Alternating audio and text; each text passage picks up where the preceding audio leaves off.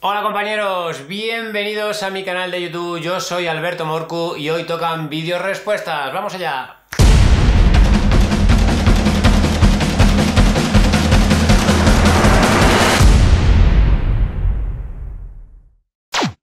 Bien compañeros, en el vídeo de hoy vamos a responder a preguntas que me vais dejando por las redes sociales. Tenéis todas las redes sociales debajo de la descripción del vídeo. Si tenéis alguna pregunta que hacerme, comentario o consejo, también me la podéis dejar en los comentarios de este vídeo, en cualquier otro vídeo o incluso en algún post de mis redes sociales. Vale, me preguntaban en Instagram, eh, consejo para cuando te da un bajón o pájara en medio del monte y estás a unos 15 kilómetros de donde has dejado el coche y si te ha pasado algo parecido.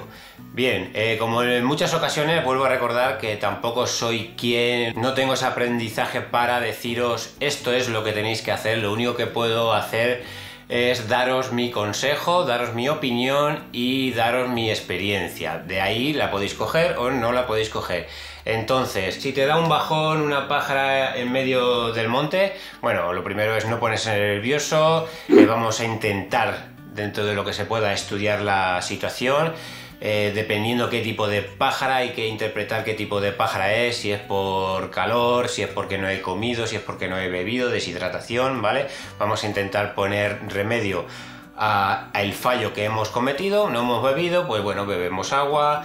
El problema vendría de que te pegue el, pajarón y no tengas agua cerca, entonces optaría por intentar buscar a gente de ciclistas, alguna casa que esté cerca, alguna casa de campo, ¿vale? Dependiendo dónde te encuentres, Si te encuentras en alta montaña, bueno, pues eh, intentar hacerlo las cosas de la mejor manera posible.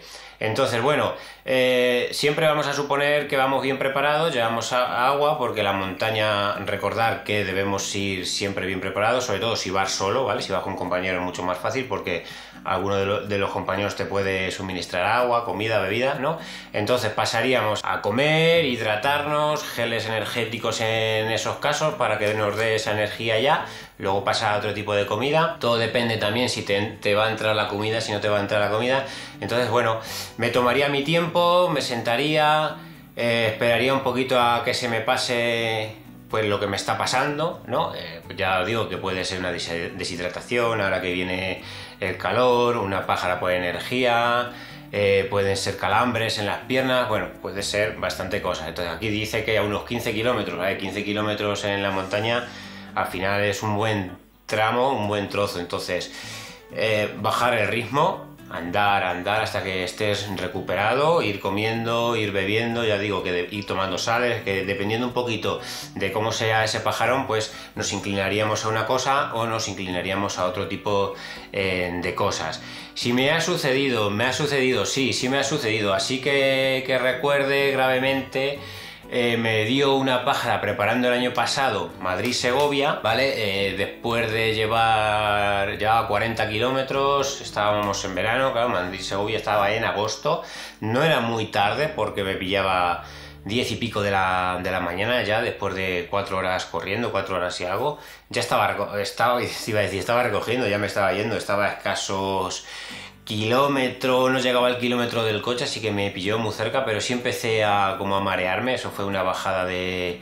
Bueno, una deshidratación, cierto, porque me, me había quedado sin agua 5 kilómetros atrás y, y claro, 5 eh, kilómetros a lo mejor son 20-30 minutos, pero en esos 30 minutos que tu cuerpo, que ya viene en teoría necesitado de agua, más los 5 kilómetros que le metes de más, que le deberías estar metiendo más agua, pues te mete una, deshidratación. Bueno, pues lo que me pasó, que empecé así como a, marearme, tuve una especie de escalofrío, bueno, pues eh, pude encontrar una sombrita, me senté a que se me pasara un poco y como pude, porque ahí despacito andando, sin trotar y sin nada, pude hacer ese kilómetro hasta llegar al coche y ya, bueno, pues tranquilamente, igual sentado en el coche, una sombrita, hidratarme bien hidratado. Aquí lo que sí que voy a aprovechar y daros consejo es en estas situaciones, sobre todo ahora en verano que necesitamos bastante cantidad de agua y de líquido, es que cuando terminemos el entrenamiento eh, bebamos, bebamos, bebamos hasta que nos pida orinar, ¿vale? De esta manera, en cuanto el cuerpo nos pida orinar,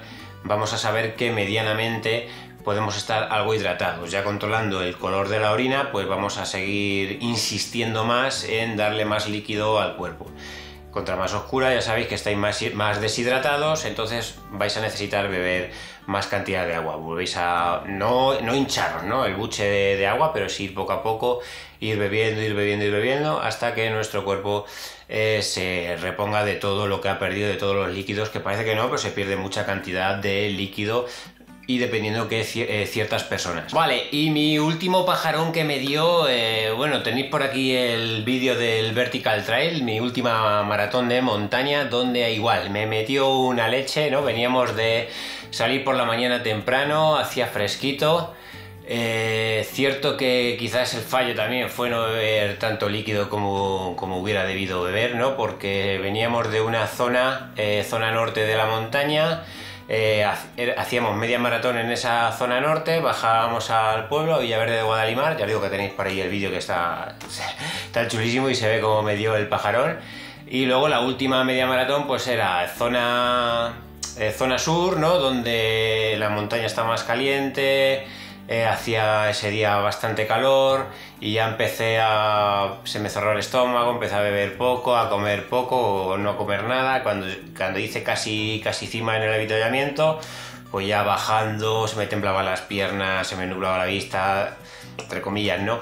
Y decidí retirarme ahí en ese avituallamiento porque, porque bueno, me quedé, cierto, digo, bueno, me quedo 5 o 10 minutos bebiendo, recuperándome pero no levantaba cabeza y directamente dije, mira, aquí cierro, se acaba la carrera, entonces invitaros si tenéis alguna vez estos síntomas, pues bueno, eh, tomar la decisión de si es necesario, se retira uno de carrera o se da media vuelta de un entrenamiento, te vas andandito al coche, te, hidratas y, y para casita y se acabó, ¿no? Bueno compañeros, si queréis que os responda algún tipo de pregunta, comentario o sugerencia, me la podéis dejar en la cajita de comentarios en alguno de los posts de mis redes sociales, os dejo las redes sociales debajo de la descripción del vídeo.